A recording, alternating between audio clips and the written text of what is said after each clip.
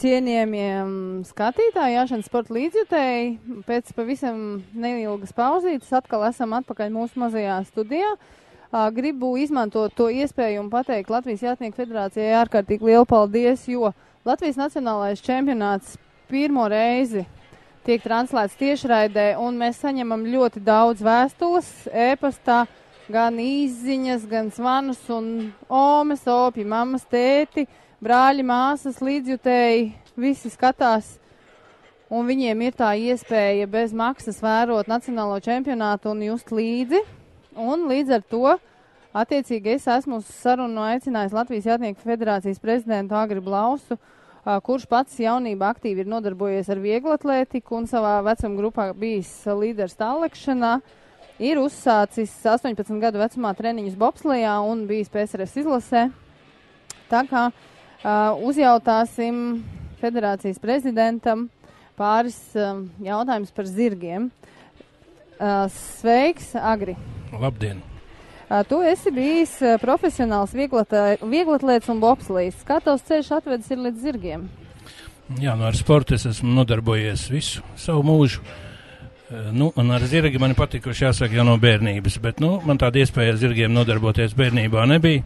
Varbūt nebija tās informācijas vai kāds cits iemesls, bet iegādājoties nu, jau 20 gadu atpakaļ lauku īpašumu, nolēmu arī nopirkt zirgu. Nu, tā tas ceļš sākās. Tad satika domu biedrs un, un, un izveidojām Saules Jāšanas sporta skolu. Un tad jau, nu, tad jau viss aizgāja tā. Kura ir tava mīļākā jāšanas sporta disciplīna un kāpēc? Nu, mīļākā, protams, varētu būt. Nu, es nedrīkstu tā, tā teikt, gan kur ir mīļākā. Nu, jo mums Latvijā, es gribēju teikt tā, ka mums Latvijā tomēr ir jāšana, tātad jāšanas disciplīnas ir konkurss, tā šķēršļu pārvarēšana, iejādes disciplīna, pajūgu braukšana, poniju jāšana, amatieru jāšana, paralimpiskā disciplīna. Nu, mīļas ir visas, visas vienādi atbalstam, visas vien, vis, pret visām vienādi izturamies, bet, nu, konkurss tomēr ir tā varbūt dinamiskāk un tāda interesantāk un, nu, man mazliet tuvāk. Nu, pats es arī kādreiz esmu mēģinājis jāt, nu, protams, hobija līmenī. Uh, nu, un varbūt arī tādēļ, nu, nedaudz vairāk tomēr konkurss ir tuvāks. Jā. Tieši to es tev arī gribēju jautāt, vai tev pašam kādreiz vēl pa vidu darbiem sanāk sēsties zirga mugurā? Nu, jā, nu, apmēram divu gadu atpakaļ es kādas divas, trīs mēnešus aktīvāk jāju, un, bet tagad gan nav iznācis. Nu, jāsaka, varbūt laika trūkuma dēļ, bet nu, laiku vienmēr varētu atrast, ja vien būtu varbūt lielāka uzņēmība. Bet es gribu pateikt to, lai arī skatītāji, klausītāji dzird, ka uh, Uh, un ieteikt, ka uh, jāšana ir nu, ļoti labs sporta veids. Tas ir, ja, piemēram, hobija jātniekiem, jā, vai, vai, vai arī profesionālākā līmenī. Nu, es, kad es jau minēju, ka es divus at, gadus atpakaļ gāju, es nometu apmēram 10 kg no divu mēnešu laikā. Tā tad arī tagad, ļoti veselīgs. Jā, un tagad, tagad es skatos, ka man atkal būtu nepieciešams atsākt to procedūru. Jautājums tev sekojošs. Tev ir um, nu, Latvijas Jātnieku federācija ir vienīgā organizācija Latvijā, kas koordinē visu jāšanas sportu valstī.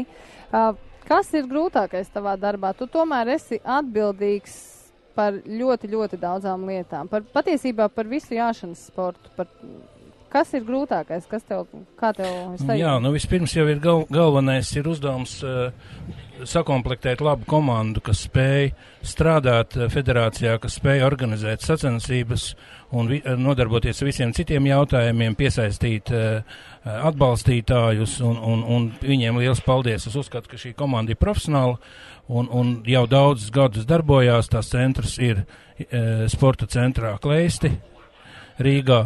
Un, un, un nu, grūtākais ir, protams, nu, šo sacensību organizācija. Ja, tas ir nu, pat grūti pateikt, kas ir tas grūtākais tieši. Ja, bet grūtākais, protams, ir naudas jautājums. Ja. ja ir nauda, tad arī mēs varam norganizēt augstā kvalitātē mačus. Mēs varam atbalstīt mūsu sportistus, kuri piedalās starptautiskajās sacensībās. Ja. Tā kā jau būs vairāk mums šī finansiālā atbalsts ja, no, no, no sponsoriem, jo, kā zināms, šajā grūtajā situācijā valsts ļoti maz var palīdzēt uh, federācijām, to skaitā arī mūsu federācijai. Tā kā no privātajām, uh, privā, privātpersonām, no, no uzņēmumiem mēs gaidām šo atbalstu. Jā.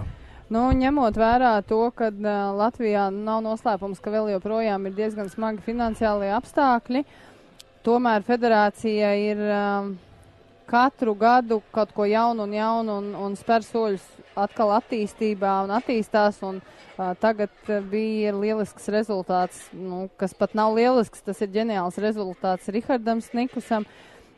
Kā, o, kādi ir federācijas uh, nu, nākotnes virzība, nākotnes mērķi? Nu, vai ir kaut kādi plāni, ko vēl uzlabot? Kaut vai, kaut vai sīkumos. Mēs, piemēram, jau šogad pirmo reizi jāšanas sacensības translējam tiešraidē. Tas viss ir uh, bez maksas un vai, arvien vairāk piesaistam jau jaunus jātniekus. Ko vēl mēs varētu darīt? Ko, kāda ir federācijas ieceres? Jā, nu katru gadu man, man personīgi tā šķiet, ka nu, nākošais gads, nu kā nu mēs izdzīvosim, kā būs, jā, bet nu, kad pienāk šis gads, tad mēs kopīgi strādājam un, un, un atrodam šīs finanses, tomēr, lai sarīkot sacensības. Un kā jau tu minēji, viņas notiek arvien kvalitatīvāk, arvien labāk. Tas ir atkal pateicoties mūsu klubiem, mūsu, mūsu visai jātnieku saimē, ja, kas nāk ar iniciatīvām un, un, un darbojās, un viņiem liels paldies! Nu, jā, un, sacensības bie, arvien biežāk notiek. Arvien biežāk notiek sacensības un arvien uh, labākas kvalitātes. Un, un, un, un, un jāsaka arī, ka mūsu sportisti starti ir arvien labāki starptautiskajā arēnā. Ja? Kā zināms, šogad ir ļoti daudz godalgas ieguvuši mūsu vadošie jātnieki uh, starptautiskajā uh, mačos. Tas ir pasaules kausa posmos, uh, konkūrā, pajūga braukšanā. Un, un prot, iejādē arī, jā, arī. un, mhm. protams, kad Rihard, paralimpiskā jātnieka Rihards Snikums, Snikusa panākums Londonas paralimpiskajās spēlēs 4. un 6. vieta. Nu, es domāju, mēs neviens gandrīz necerējām uz šādu brīnišķīgu rezultātu, un to es varu nosaukt pat par izcilu rezultātu. Un, un tur atkal paldies jāsaka paralimpiskās sekcijai, kas mums aktīvi darbojās Dārija Čikamīrova un viņas trenere Olga Šellere. Un, un, un, un, un paldies arī Rikārda treneriem. Un paldies arī, kad varēja izmantot um, zirgu Šardonī, kurš pieder uh, Edgaram Trebergam. Tā kā, nu, paldies visiem, un kad šāds rezultāts tika sasniegts, un es, tas, tas tikai uh, popularizē mūsu sporta veidu, jo, piemēram, viņi, kā stāstīja Olga Šellere, par tādu, kā viņi ieradās Londonā, viņi jau par tādu Latviju nemaz tur daudz nebija dzirdējuši. Jā. Toties Tas bija mūsu pirmais, pirmais starts uh, tik lielās, lielās sacensībās. Jā. Uh, tīri personisks dabas jautājums. Tev pašam ir savi zirgi, vai tu uztraucies, kad viņi startē? Jā, protams, kad uztraukums ir un, un, un dzīvoja līdzi un pārdzīvoja, un, bet, nu, viss tā pamazām notiek un esmu apmierināts. Jā. Ko tu novēlētu čempionāta dalībniekiem, kuri startē tagad šīs dienas pašā grūtākajā maršrutā, un visiem pārējiem, kas gan jau startē, gan vēl plāno tikai iesākt savas gaitas jāšanā, kāds būtu tavs padoms un novēlējums? Nu, vispirms es gribu pateikt paldies eh, visiem, kuri šodien un vakar ir ieradušies uz Latvijas čempionātu, jo šīs ir viens no svarīgākajām sacensībām sezonā. Eh, Latvijas mēroga sacensības pašas svarīgākās un nozīmīgākās, un prieks par to, kad, kad ir ieradušies visi vadošie Latvijas konkūristi, jātnieki. Protams, varbūt, ka nav uh, zirgu sastāvs pats labākais, jo tas ir saprotami, jo viņi gatavojās atkal starptautiskiem startiem, kuri notiks Tallinā, pasaules kausa posms bez dažām nedēļām, un pēc tam vēlāk Polijā un citur. Uh, bet, uh, bet, tas ir patīkami, ka šogad viņi ir tomēr visi ieradušies uz Latvijas čempionātu. Ja? Un vēl, ko es gribēju teikt, ka federācija jau vairākus gadus un arī šogad uh, Tātad mēs rīkojam Nacionālo čempionātu federācijas kausa posmus visās vecuma, gan jātnieka vecuma grupās, gan zirga vecuma grupās. Tas ir ļoti nozīmīgi.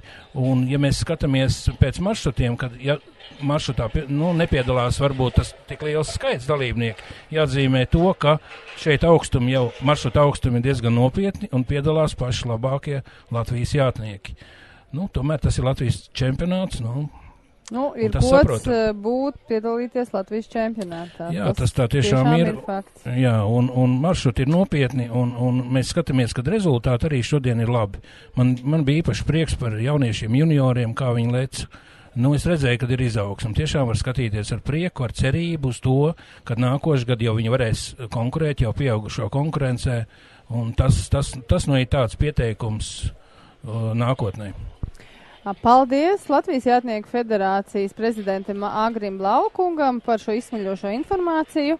Un tagad uh, dalībniekiem, kuri startē beidzamajā maršrutā, ir iespēja apskatīt maršrutu, ko viņi arī ļoti aktīvi dara. Un vēlreiz jūs informēšu, kad šo maršrutu komentēs Sergejs Šakūros, kurš mums arī mazliet vēlāk izstāstīs Kas ir maršruta grūtākās vietas viņu prāt, ko viņš ir gribējis, lai jātnieki maršrutā izpilda? Tā kā